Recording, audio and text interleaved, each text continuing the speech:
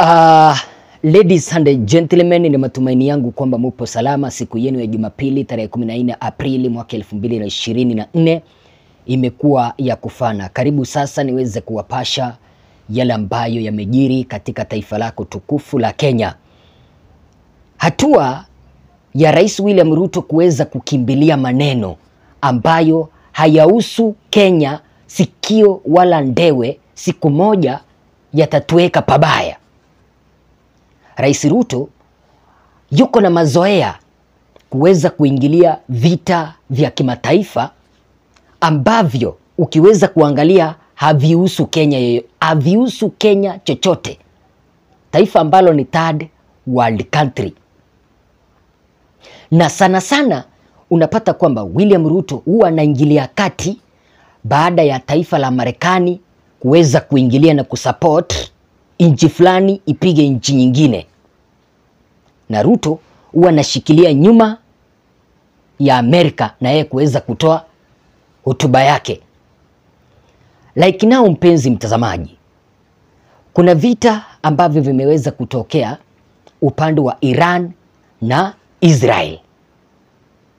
Kwa wale ambao wanatumia mitandao ya kijamii sasa hivi, mnajua kwamba mnamo siku ya Jumamosi na Jumapili Iran imeweza kushambulia Israel, na asubuhi na mapema siku ya Jumapili taifa la Marekani liliweza kutangaza msimamo wake kuunga mkono Israel ipigane na Iran. In short, America supports Israel.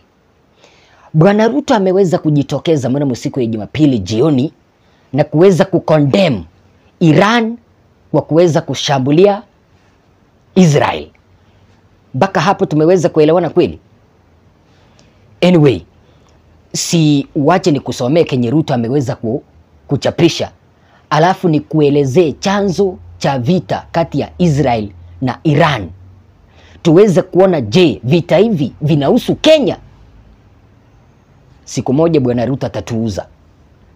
Ruto akaja akaposti hivi, Kenya is deeply concerned by Iran, Irani's attack on the state of Israel.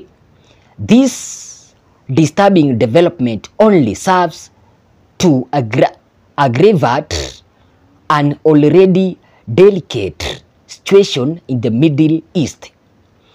The attack represents a real and a present threat to international peace and security, contravenes the Charter of the United Nations and should be condemned by all peace-loving countries.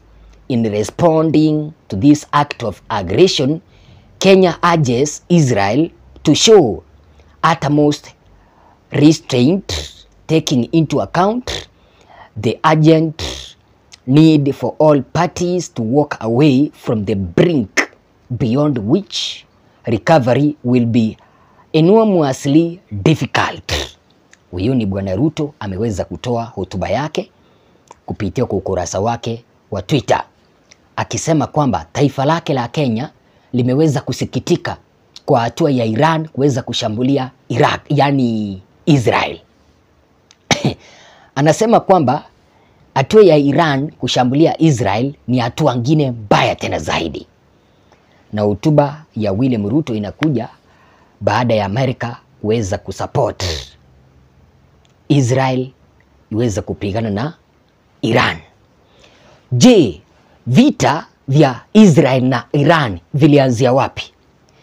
Mtazamaji, kitu ambacho nakuomba ni uweze kutega sikio lako ndi, kama wewe ni mgeni upige subscription, ulike video, ubonyeze kengele, alafu uweze kushare kanda hii kwenye kwa grupu moja mbili tatu. Naomba mpenzi mtazamaji uweze kunisikiliza na uweze kunipea jawabu. Je, Kenya inatazamiwa kuweza kutoa ujumbe kama huu kwa mambo ambayo hayatuhusu? Vita vya Iran na Israel viliweza kuanza baada ya Iran kusema kwamba takriban ya wiki mbili ambazo zimeweza kupita, taifa la Israel liliweza kushambulia embassy ya Iran katika taifa la Syria. Unanielewa mpaka hapo? Iran wanasema kwamba Israel iliweza kushambulia embassy, afisi ya ambassadors upande wa Syria wiki mbili ambazo zimeweza kupita.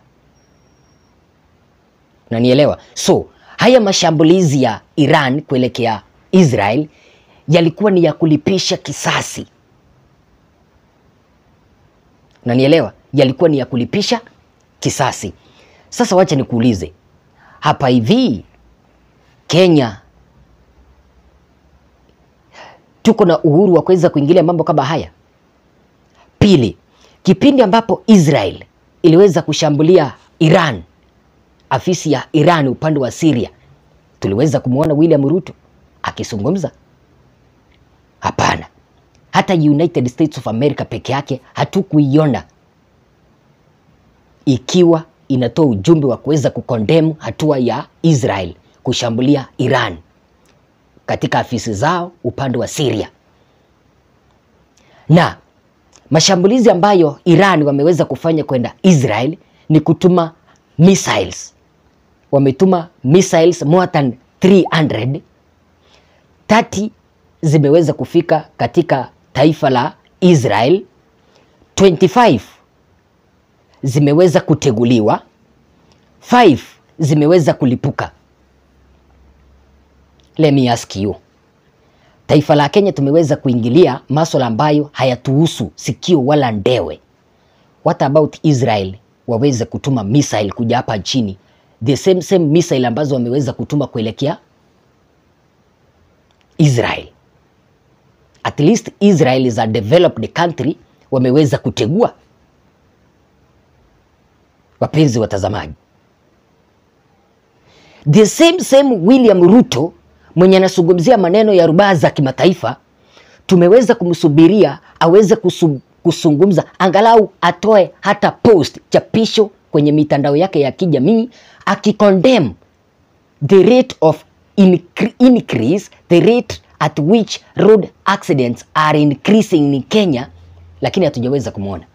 Hatujaona Rais Ruto akizungumzia kuhusiana na ajali ambazo zinaendelea hapa nchini. Ameacha kupost kuhusiana na ajali ambazo zinaendelea hapa nchini, ajali ambazo zinazidi kuwaua Wakenya hapa nchini. Ameenda kuzungumzia mambo ya Irani na Israel. Pili, Rais Ruto ameacha kushughulikia swala la banditry upande wa Baringo, upande wa West Pokot, Marsabit, Lamu, Garissa, upande wa Mandera. Wale watu wa huko waweze kupata amani, waweze kupata upendo na umoja, lakini ameenda kupoke his nose upande wa vita vya Iran na Israel. So let me ask you, amani ya Israel na Iran it's so important, lakini amani ya wananchi wa Kenya ambao wanaangaishwa na bandits is not important. Tatu, Ruto ameacha kushughulikia swala la mgomo wa madaktari ambao unaendelea hapa nchini. Ameamua kutumia vitisho kuelekea kwa madaktari, akitumia maafisa wa polisi akiwaambia kwamba daktari yeyote mwenye ataonekana kwa barabara akiandamana mfiatulie tear gas, mkamate, weka ndani, badala ya kuweza kupea madaktari pesa zao ambazo wanaandamania na wengine kuweza kuajiriwa. Ameenda Israel na Iran kuenda kukondem attack ambayo imeweza kufanyika. Where are we heading as a country? Mbona hatujaweza kuona Tanzania? Mbona hatujaweza kuona Uganda? Mbona hatujaweza kuona mataifa mengine ambayo ni ya East Africa ama mataifa ya Afrika yakizungumzia hivi vita? Kwani bwana Ruto ako na shares upande wa Israel? Is it because United States of America imeweza kutoa ujumbe kusupport Israel ipigane na Iran? Hilo ndilo swali ambalo nauliza. Is William Ruto a United States of America puppet? Hilo ndilo swali ambalo nauliza because ukiweza kwenda kwenye mitandao yake ya Facebook pamoja na Twitter baada ya kuweza kutoa ujumbe huu anasema hivi, mpenzi mtazamaji, Wakenya Wakenya wameweza kusema kwamba Bwana Ruto, siku moja utaweza kufanya kiturambe. Kuna huyu mwenye anaitwa Boniface Osano akaja akaposti hivi, yo how would you react if Israel or any other country for that matter attacked any of the Kenyan consulates anywhere in the world? Wacha hii kulamba. Anamwambia kwamba what about ukute kwamba embassy za Kenya mahali kwingine zimeweza kushambuliwa, utazungumza nini? Aha. Kuna huyu mwenye anaitwa nani huyu akaweza kutoa aha. Kuna Wakenya ambao wameweza kutoa maoni hapa, mpenzi mtazamaji. Kuna wengine wanamwambia Bwana Ruto, fanya hivi, usije ukatuhesabu sisi kwa hiyo sapoti yako ambayo umeweza kupea Israel wapigane na Iran. Mr. President, Baringo is suffering and you are showing concern, eh? You are showing concern over other states. Anamuuliza kwamba mataifa mengine unapigana, kazi yako ni kukimbiza mdomo, kukondem taifa lingine ambalo linashambulia taifa lingine. Mbona hajaweza kuzungumza kuhusiana na banditry ambayo inaendelea hapa nchini? Wazo lako ni lipi mpenzi mtazamaji? Sitaki niende mambo mengi. Alafu mpenzi mtazamaji, I had an appeal. Ikifika usiku katika kituo chetu mpenzi mtazamaji, huwa kanda zetu zingine zile ambazo tunawaletea huwa zionekani vizuri because lights ambazo tunatumia zimeweza kuharibika. Ring light hii ambayo unaiona hapa imeweza kuharibika, haitoi mwangaza vizuri, and that's why sometimes unakuta kwamba video zetu hazionyeshi vizuri. I was appealing to you mpenzi mtazamaji, iwapo mtu ataweza kutusaidia taa kama hii ambayo unaona hapo ambayo inauzwa 11000 kuna yule maybe ataweza kuguzwa atuambie kwamba taa ndio hii, endelea kuchapa kazi mzuri, hiyo taa inauzwa 11000 kuna yule maybe ambaye yuko na hizi taa kwake zingine atumii, you can send us as a parcel. Kuna yule mwenye maybe ataweza kuguzwa aseme kwamba Mr. Eagle 8 shika hii taa, ndio hii nambari hapo hivyo, unaweza kutusaidia tafadhali, hii taa ninaomba, wala sio kulazimisha. Karibu tena wapenzi watazamaji wa kituo chako nambari moja cha Kenyan Media. Hii leo tena nimeweza kurejea upande wa Kisumu Canal. Kuna yule mama mama Monica ambaye tuliweza kuitisha usaidizi muweze kumsaidia, na kwa kweli hapa nyuma ukiweza kuona, mnaona yale matunda ambayo mliweza kuyatoa. Kuna wale ambao waliweza kuchangia tumeweza kumjengea ndio hii nyumba. Hata wewe sasa, e, siku ya leo ukijaribu kumwona unaona kwamba yuko na furaha. Ningependa kuweza kumpea muda ama dakika chache hivi aweze kuzungumza, angalau naye pia aweze kuwashukuru kwa ile kazi nzuri ambayo mliweza kuifanya. Mama Monica, karibu. Asante sana Mr. Eagle- Eagle 8. Mimi kwa majina naitwa Monica vile mliambiwa hapo nyuma. Leo naye nashukuru tena sana. Naweza ongea kwa nyumba, nikiingia naona nimeingia kwa boma. Asanteni sana wenye walinisaidia, tena wenye walitoa ama wenye walikuwa na hamu ya kutoa na wakufikisha. Nimeshukuru tena sana, nimeshukuru sahii hata na watoto wangu nimefurahi tena sana. Mzidi kubarikiwa kila mtu mahali popote mpo. Asanteni sana. Sawa sawa. So nikijaribu kuuliza swali moja, uh, ulisema kwamba kuna watoto uh, watoto wane, kipindi ambapo sasa hivi umeweza kufunga shule, wamerudi nyumbani na unajua wengine walikuwa kwenye shule ya bweni, yani boarding school. Sasa hivi unajua wameweza kurudi na wamepata nyumba ngeni. What are their reactions? Wao wanasemaje? Kwanza waliniuliza mama, umetoa pesa wapi? mm -hmm. Niliwakalisha chini nikawaeleza, jua wako tarajia kitu kama hii kwa hii dakika ama muda ime, ime, wamekuwa shule.